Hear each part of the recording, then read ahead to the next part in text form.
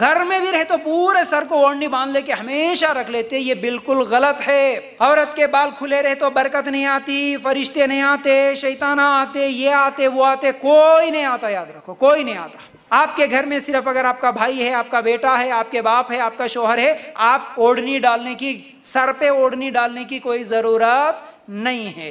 कई लोग तो खाली मियाँ बीवी दोनों ज रहते फिर भी उन्हें हमेशा सर ढांक के रखते, बिल्कुल गलत बात है, ऐसा नहीं कर सकते आप, बिल्कुल खुला रख सकते।